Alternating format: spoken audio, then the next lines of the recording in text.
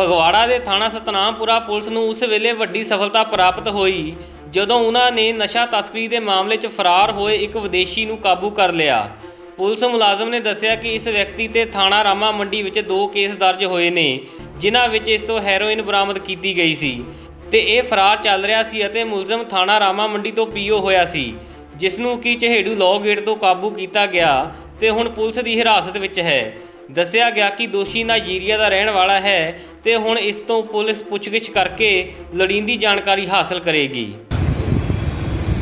ਇਹ ਜਿਹੜਾ ਵਿਅਕਤੀ, ਇਹਦਾ ਨਾਮ ਪੂਰਾ ਨਾਮ okay, Ellis Osita Hauser Ellis send, Nigeria ਦਾ ਰਹਿਣ ਵਾਲਾ ਇਹਦੇ ਤੇ ਥਾਣਾ ਰਾਮਾ ਮੰਡੀ ਦੇ ਦੋ ਮੁਕੱਦਮੇ ਦਰਜ ਆ, ਪਹਿਲਾਂ 2015 ਸਾਲ 2015 ਦੇ।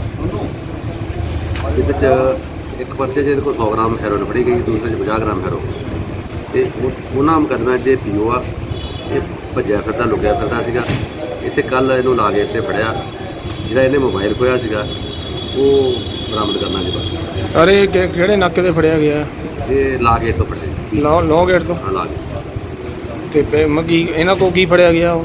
ਲੋ ਜੇ ਪੁੱਛਗਿੱਛ ਜਾਰੀ ਹੈ ਜਿਹਨੇ ਜਿਹੜਾ ਮੋਬਾਈਲ ਖੋਇਆ ਉਹ ਬਰਾਮਦ ਕਰਨਾ ਬਸ। ਫਗਵਾੜਾ ਤੋਂ ਯਸ਼ ਸ਼ਰਮਾ ਦੀ ਰਿਪੋਰਟ। ਫਗਵਾੜਾ ਦੇ ਵਿੱਚ ਆਸ਼ੂ ਦੀ ਹੱਟੀ ਦਾ ਖੁੱਲਾ ਚੈਲੰਜ ਜਿੱਥੋਂ ਤੁਹਾਨੂੰ ਮਿਲਣਗੇ ਸ਼ਹਿਰ ਵਿੱਚ ਸਭ ਤੋਂ ਸਸਤੇ ਰੇਟ ਤੇ ਸੂਟ, ਲਹਿੰਗੇ, ਸਾੜੀਆਂ ਤੇ ਪਲਾਜ਼ੋ। ਆਸ਼ੂ ਦੀ ਹੱਟੀ ਦਾ ਇੱਕ ਹੀ ਵਾਅਦਾ, ਤੁਹਾਨੂੰ ਮਿਲਣਗੇ ਵਧੀਆ ਕੁਆਲਿਟੀ ਦੇ ਕੱਪੜੇ, ਪਰ ਰੇਟ ਨਹੀਂ ਹੋਵੇਗਾ ਜ਼ਿਆਦਾ।